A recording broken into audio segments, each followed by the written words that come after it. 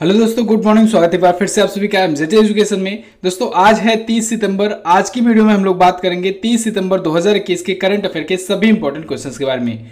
पूरी वीडियो ध्यान से देखिएगा, पूरी वीडियो डिटेल में आपको समझाई गई है। अगर वीडियो पसंद आए, वीडियो को लाइक और शेयर ज़रूर कर देना। इस वीडियो की पीडीएफ फ़ाइल और डिटेल्स के साथ क्विज दोस्तों आपको मिलेगी हमारे एप्लीकेशन एमजेटी ऐप पर। तो गूगल प्ले स्टोर से आप एमजेटी ऐप भी डाउनलोड कर लीजिए। इसकी पीडीएफ फ़ाइल के साथ साथ आपको दोस्तों ये जो डिटेल वाली पीडीएफ दी जा रही है ये तो दी ही जाएगी, साथ ही साथ वन लाइनर भी दी जाती है। वन लाइनर आपको मिलेगी हमारे टेलीग्राम ग्रुप पर। तो आप टेलीग्राम ग्रुप पर ज्वाइन कर लीजिए। वहाँ से आप वन लाइनर सिर्फ़ एक मिनट में पढ़ करके रिविजन अपना कर सकते हैं। चलिए बात करते हैं लास्ट डे के क्वेश्चंस की। लास्ट डे का हमारा पहला क्वेश्चन था, हारमुज जल संधि किस किस देश के बीच में है? तो ये है ओमान और ईरान के बीच में। उनचासवां दादा साहब फाल्के पुरस्कार विनोद खन्ना जी को मिला था 2017 में मिला था। राष्ट्रपति किस अनुच्छेद से अध्यादेश जारी करता है? तो आर्टिकल 123 से ये जारी करता है। सिविल सेवा प्रतियोगिता शुरू करने वाला पहला देश चाइना था। चलिए बात करते हैं आज के दिन के पहले क्वेश्चन की। आज का हमारा पहला क्वेश्चन है, हाल ही में विश्व हृदय दिवस कब मनाया गया? वर्ल्ड हर्ट डे कब मनाया गया?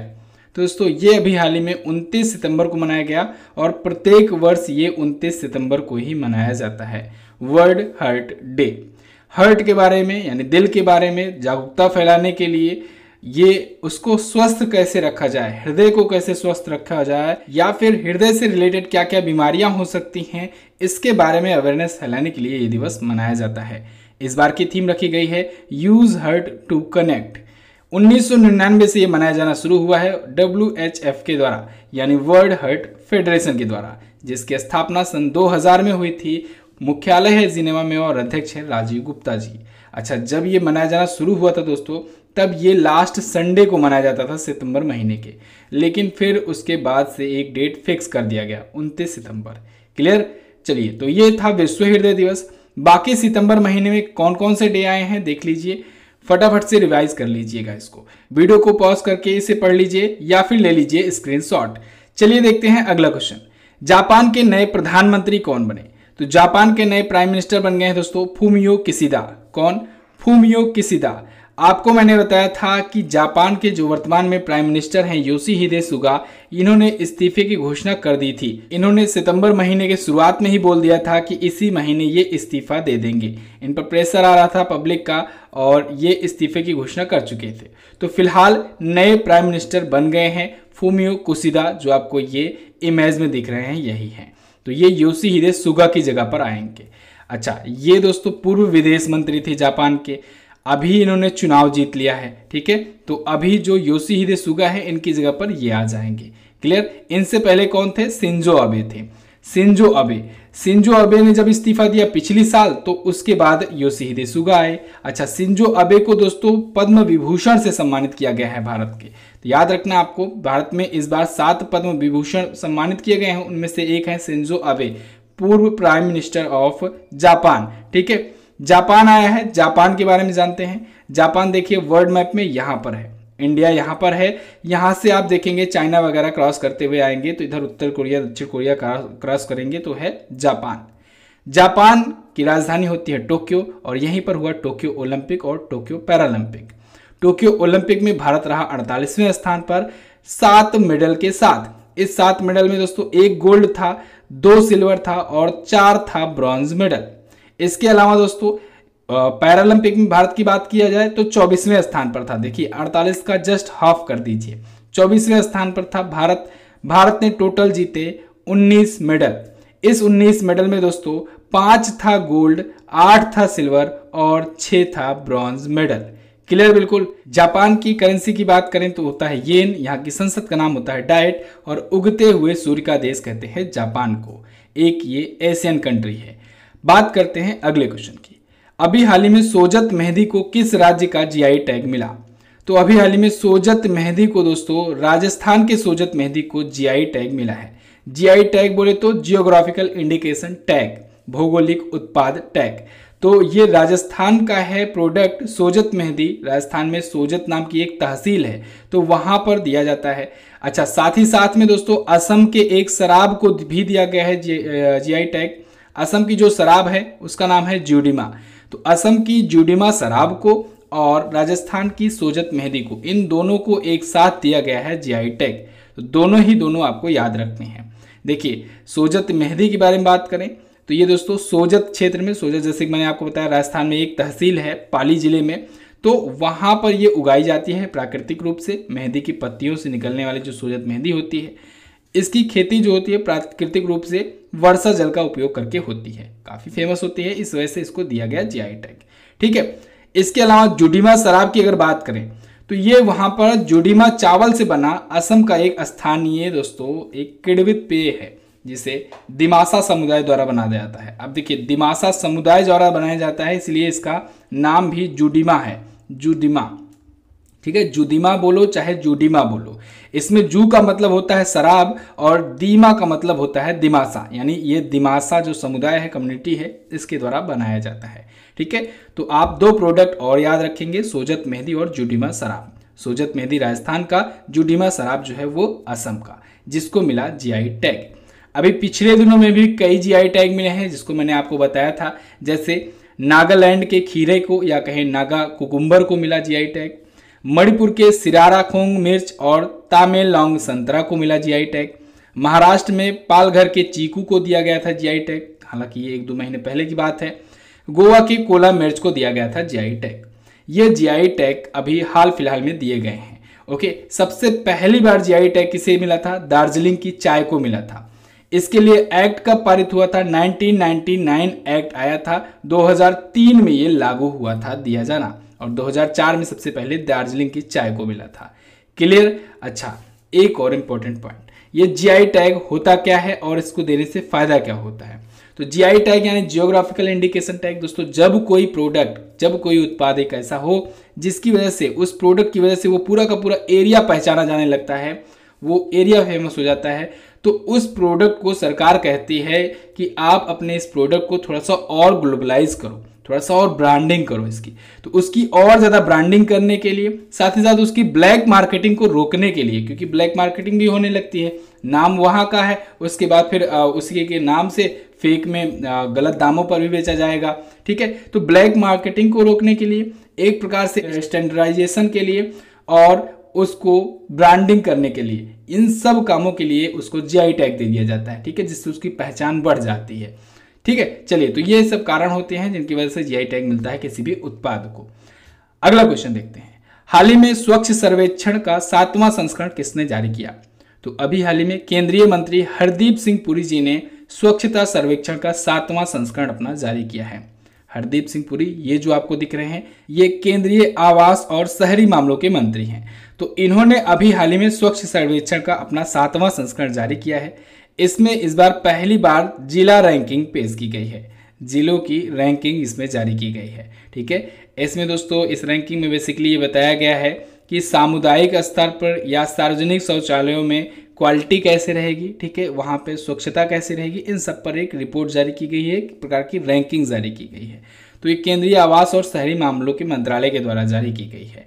क्लियर अच्छा इसके लिए एक और एक प्रकार से कहें कि उत्सव टाइप का शुरू करने की घोषणा की गई है, सार्वजनिक शौचालय, सफ़ाई, जन भागीदारी उत्सव। ओके चलिए, अगला क्वेश्चन किस देश ने राइडर कप गोल्फ टूर्नामेंट जीता? तो अभी हाल ही में अमेरिका ने जीत लिया है राइडर कप गोल्फ टूर्नामेंट इसने दोस्तों यूरोप को हरा करके जीत लिया राइडर कप टूर्नामेंट ये गोल्फ से संबंधित टूर्नामेंट होता है। गोल्फ आप जानते ही हो गोल्फ के जो महानतम खिलाड़ी हैं वो कौन हैं? वो है टाइगर वुड्स तो इनका भी नाम आपको याद रखना है टाइगर वुड्स ठीक है? तो अमेरिका ने यूरोप को हरा करके जीत लिया गोल्फ टूर्नामेंट, ये राइडर कप गोल्फ टूर्नामेंट।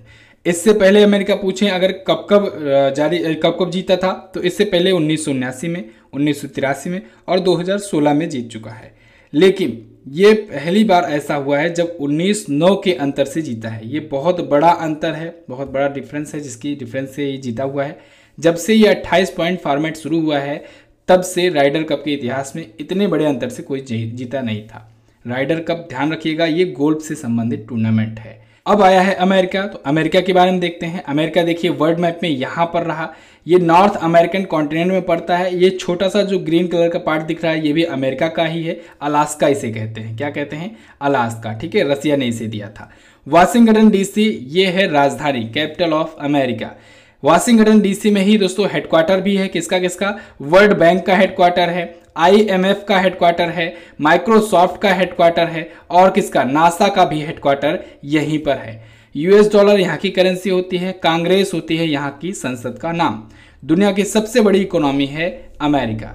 जो बाइडेन छियालीसवें नंबर के प्रेसिडेंट हैं और ये हैं डेमोक्रेट पार्टी से। इनसे पहले रिपब्लिकन पार्टी से थे डोनाल्ड ट्रंप। क्लियर? अगला क्वेश्चन देखते हैं। Global life time achievement award 2021 से हाल ही में किसे सम्मानित किया गया? तो अभी हाल ही में दिनेश साहरा को किसे? दिनेश साहरा को दोस्तों, global life time achievement award से सम्मानित किया गया है। ये जो आपको इमेज में दिख रहे हैं, यही है दिनेश साहरा। इनको दोस्तों खाद्य तेल उद्योग में जो जो फ़ूड ऑयल होता है, उसकी इंडस्ट्री के लिए इनका जो भी योगदान रहा, इनका जो भी कंट्रीब्यूशन रहा जीवन भर का लाइफ टाइम का, उसके लिए इनको दिया गया है global life time achievement award तो याद रखना है, खाद्य तेल उद्योग में इनके योगदान के लिए दिया गया है। अच्छा मध्य प्रदेश को भारत का सोया कटोरा के रूप में बदलने का श्रेय इन्हीं को जा, जाता है। मध्य प्रदेश में आप जानते हो सोयाबीन की आ, का उत्पादन बहुत बड़ी मात्रा में होता है। तो मध्य प्रदेश को इस कंडीशन में लाने में इनका बहुत बड़ा योगदान था दिनेश सहारा को। तो इनको सम्मानित किया गया है। अगला क्वेश्चन देखते हैं। हाल ही में टी ट्वेंटी में दस हज़ार रन बनाने वाले पहले भारतीय बल्लेबाज कौन बने? तो वो बन गए हैं दोस्तों विराट कोहली।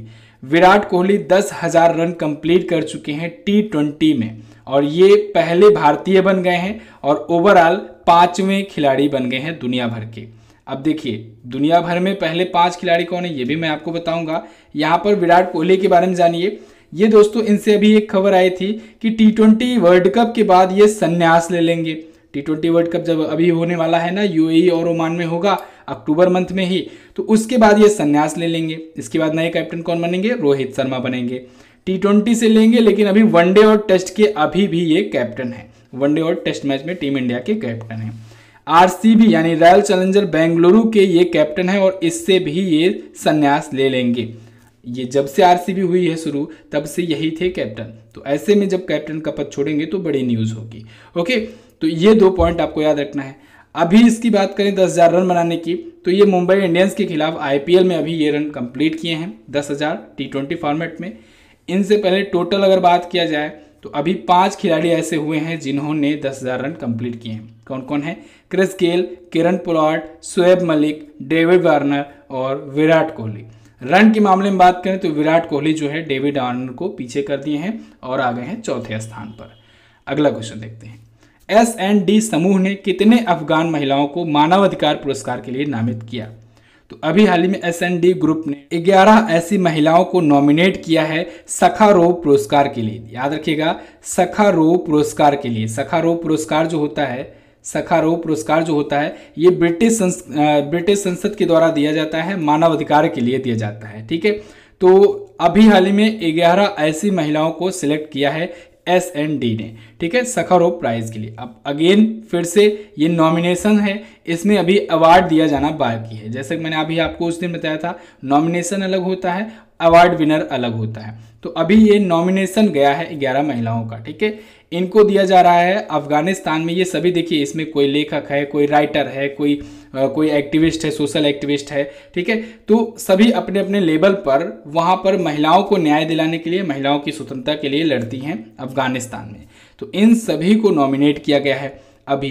तो इनमें में से अब देखना यह है कि किसको किसको मिलता है सखारो पुरस्कार। जब मिलता है, तब मैं आपको बताऊँगा क्वेश्चन लेकर के। ठीक है? तो फ़िलहाल विचार की स्वतंत्रता के लिए सखारो पुरस्कार दिया जाता है यूरोपीय संघ के द्वारा। ठीक है? ये आपको याद रखना है।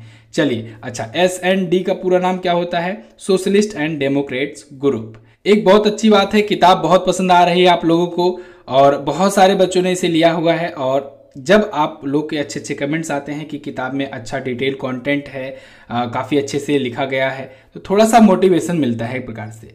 और अगली बार और अच्छा से अच्छा बनाने का प्रयास मैं करूँगा ज़रूर। और आप लोग जो फीडबैक दे रहे हो, उस फीडबैक को मैं नोट करते भी चल रहा हूँ। अगली जो बुक आएगी, वो नवंबर दिसंबर में आएगी। इससे पहले अभी ई बुक संस्करण में ही आएँगे, जो बाकी के एडिशन आएँगे, लेकिन अगली जो पुस्तक आएगी, वो नवंबर या दिसंबर में आएगी। तो जिन्होंने अभी तक नहीं लिया है इस पुस्तक को, वो ले सकते हैं हार्ड कॉपी में, ठीक है? इसके बाद फिर सॉफ्ट कॉपी आएगी लिमिटेड कॉपी ही अब बची हुई है, ज़्यादा कॉपी बची नहीं हुई है। दो बार ऑलरेडी प्रिंटिंग करवाई जा चुकी है तो तीसरी बार अब प्रिंटिंग नहीं करवाई जाएगी तो आप इसे ले सकते हैं फ्लिपकार्ट पर जाकर के अगला क्वेश्चन देखते हैं। हाल ही में जन केयर शीर्षक से अमृत ग्रैंड चैनल प्रोग्राम किसने लॉन्च किया? तो अभी हाल ही में दोस्तों, जितेंद्र सिंह, जो कि केंद्रीय राज्य मंत्री हैं, इन्होंने जन केयर नाम से एक Amrit grand channel challenge program launch किया है। यहाँ पर इमेज में आपको दिख रहे हैं जितेंद्र सिंह जी। ये दोस्तों, केंद्रीय राज्य मंत्री हैं, विज्ञान और प्रौद्योगिकी विभाग का। ठीक है? तो ये साइंस और टेक्नोलॉजी के स्टेट मिनिस्टर हैं। इन्होंने अभी हाल ही में दसवीं बायोटेक इनोवेटर्स मीट हुई थी। जो कि biotechnology industry research support council के द्वारा आयोजित कराई गई थी, इसी में इन्होंने ये लॉन्च किया है। जन केयर नाम का अमृत ग्रैंड चैलेंज प्रोग्राम इससे क्या होगा? इससे दोस्तों टेलीमेडिसिन हुआ डिजिटल मेडिकल डिजिटली जो मेडिकल हुआ, या फिर या फिर एआई ब्लॉकचेन यानी आर्टिफिशियल इंटेलिजेंस ब्लॉकचेन या जो भी टेक्नोलॉजी सेक्टर में जो भी स्टार्टअप्स होंगे या इनोवेशंस होंगे, ऐसे इसमें पचहत्तर सेलेक्ट किए जाएँगे। ऐसे पचहत्तर स्टार्टअप्स और इनोवेशंस चुने जाएँगे और उनको प्रमोट किया जाएगा, उनको अगर कोई हेल्प चाहिए होगी सरकार की तरफ़ से तो हेल्प किया जाएगा। यानी कि एक लाइन में कहें तो ऐसे इनोवेशंस और स्टार्टअप्स को बढ़ावा दिया जाएगा। क्लियर है? चलिए, अगला क्वेश्चन देखते हैं। हाल ही में किसने एक्सिस बैंक के कार्यकारी निदेशक पद से इस्तीफा देने की घोषणा की? तो अभी हाल ही में राजेश दहिया ने दोस्तों घोषणा की है कि वो एक्सिस बैंक के एग्जीक्यूटिव एग्जीक्यूटिव डायरेक्टर के पद से इस्तीफा दे देंगे।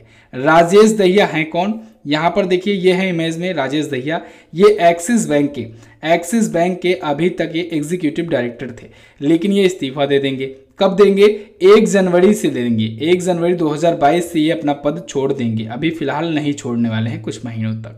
ये जून 2010 में एक्सिस बैंक में शामिल हुए थे और 2016 में ये एग्जीक्यूटिव डायरेक्टर बनाए गए थे एक्सिस बैंक के। एक्सिस बैंक के बारे में बात करें तो इसकी स्थापना 1993 को हुई थी। मुंबई में हेडक्वार्टर्ड है, एक प्राइवेट सेक्टर की बैंक है और एमडी और सीईओ हैं अमिताभ चौधरी। क्लियर बिल्कुल? तो बस दोस्तों, ये तो थे हमारे आज के दिन के टॉप टेन करंट अफेयर के क्वेश्चंस आई होप आपको वीडियो आई होगी पसंद और आपने कर दिया होगा लाइक अगर आपने अभी तक बाई मिस्टेक लाइक नहीं किया है तो प्लीज़ वीडियो को लाइक कीजिए शेयर कीजिए अपने दोस्तों के पास और चैनल को सब्सक्राइब ज़रूर कीजिए, जिससे आने वाली वीडियोज़ का नोटिफिकेशन आप तक पहुँचता रहे। इस वीडियो की पीडीएफ फ़ाइल आपको मिलेगी हमारे एप्लीकेशन एमजेटी ऐप पर। तो गूगल प्ले स्टोर पर जाइए एमजेटी ऐप डाउनलोड कीजिए और बिल्कुल फ्री में आप लोग इसकी पीडीएफ डाउनलोड कीजिए। ठीक है? इसके अलावा इसकी क्विज भी आपको वहीं पर मिलेगी, आप सॉल्व कर सकते हैं। टेलीग्राम पर वन लाइनर भेजा जाता है तो आप टेलीग्राम से वन लाइनर भी डाउनलोड कर सकते हैं, टेलीग्राम जा करके एमजेटी एजुकेशन सर्च करके। बात करते हैं क्वेश्चन शब्द टेकी।